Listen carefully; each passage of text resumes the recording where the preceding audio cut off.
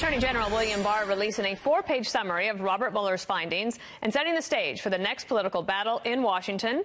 A growing debate now playing out on when exactly lawmakers and the American public will see the full Mueller report. Joining me now is Trey Gowdy, former chairman of the House Oversight Committee and a Fox News contributor. So um, there has been this debate about how could somebody like Bill Barr actually read um, a 300 page document and summarize it in 48 hours.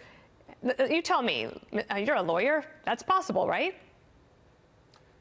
Uh, it's more than possible. I mean, he's actually a smart lawyer. I'm not. Uh, I, I, probably could read 300 pages in a weekend, but Bill Barr definitely can. And, you know, it's not like you're summarizing something that's really complicated. Do you have sufficient evidence upon which to charge people with conspiracy, collusion, coordination, whatever you want to call it? And then the other summary, which people oftentimes forget about what did Russia do to this country in 2016? He summarized it. I'm quite certain he read it. He's a mm-hmm. really, really smart guy, which is something that should give all of us confidence. 300 pages um, is not that much. Do you? Um, I, I, understand some Democrats' point that if the shoe were on the other foot, right, would you, when you were back on the committee, would you have accepted a four-page summary from Eric Holder, for example, without further information? And you would probably demand all of the report as well? Uh, I would try, but I would also understand, as I did when Eric Holder and, and James Cole, his DAG, wouldn't even answer questions. I mean, keep in mind, Dana, the, the Department of Justice speaks in indictments.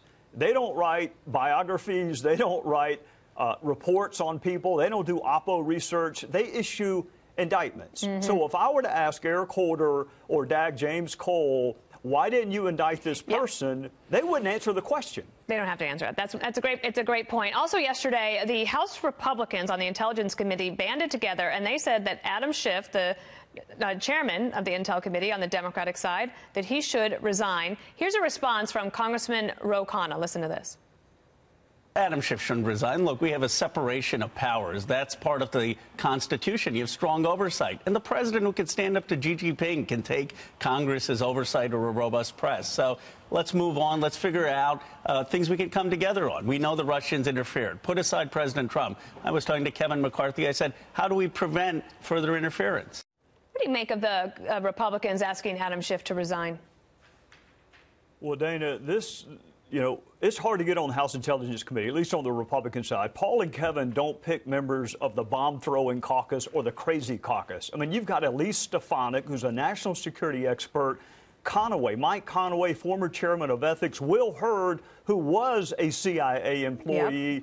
Johnny Ratcliffe, a U.S. attorney, terrorism expert. I mean, these are not members of the bomb throwing caucus. And for them to say, Adam Schiff, we have lost confidence in your leadership, I'll tell you, I think what's going to happen next, Dana, is the intelligence community is going to say, you know what, Adam, you disregard the information that you're provided, you prejudge the outcome of investigations, you have the president not just indicted but in jail. We're going to stop sharing information with you if you are the chairman of the House Intelligence Committee and you can't act in a reasonable way. We're going to stop sharing information with you, in which case Pelosi will have no choice but to mm. replace Schiff and look, the mm. next in line is Jim Himes, who's every bit as progressive. He's just a lot more reasonable and than Adam maybe responsible, is. responsible with information. I have one last quick question for you. There was this text message that was revealed um, from Page, of course, remember Lisa Page, to McCabe yes, on the sixth, on the 12th of December of 2016, saying, "By the way, DNI James Clapper told Pete." That he, Clapper, was meeting with the CIA director and his deputy for dinner tonight.